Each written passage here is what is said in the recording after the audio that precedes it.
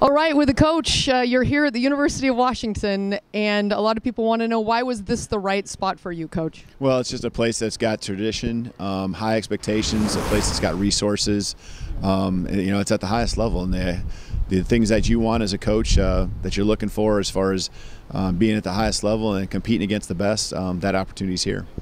At the press conference, you talked about schemes, and you're an offensive innovator, and you love that side of the football.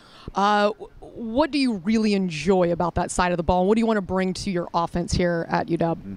I, th- I think just every day trying to figure out how to do something a little bit better. Um, that's the way it's always been. It, it always comes back to the foundations of what you do, uh, but just finding different window dressings and different uh, little little pieces that can really cause uh, an opponent, uh, you know, some some sleepless nights. Uh, that's what you're always trying to do. And uh, you know, in the end, though, it's still about winning football games, and we got to play a team game, and we got to do what we can do to keep the defense off the field and play with the lead and allow uh, allow team to pin their ears back and come after you.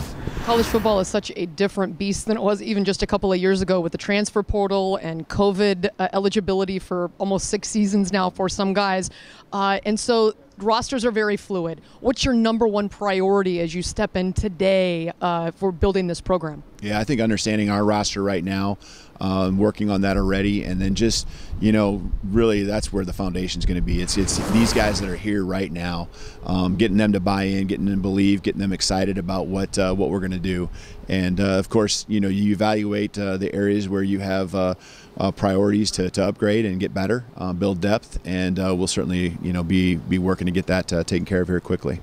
And your coaching staff, how do you build that? What's the timeline? What you have so many things, I'm sure, swirling in your mind. How do you, uh, uh, you know, attack the filling of your coaching staff? Sure, you want to do it quickly. Um, you want to get people in place so we can we can uh, you know for sure by January um, be be you know working together. Um, but you also got to be very diligent and very smart and making sure that you're calculated and how you're bringing these guys together. Uh, the chemistry is so important in my mind. Um, every day those guys are sitting in the same room together. Um, they gotta they gotta love the game. They gotta love being around each other and have the same uh, philosophy and goals and mission. Well, Coach, I appreciate your time. It's great to meet you. Yeah, thank you.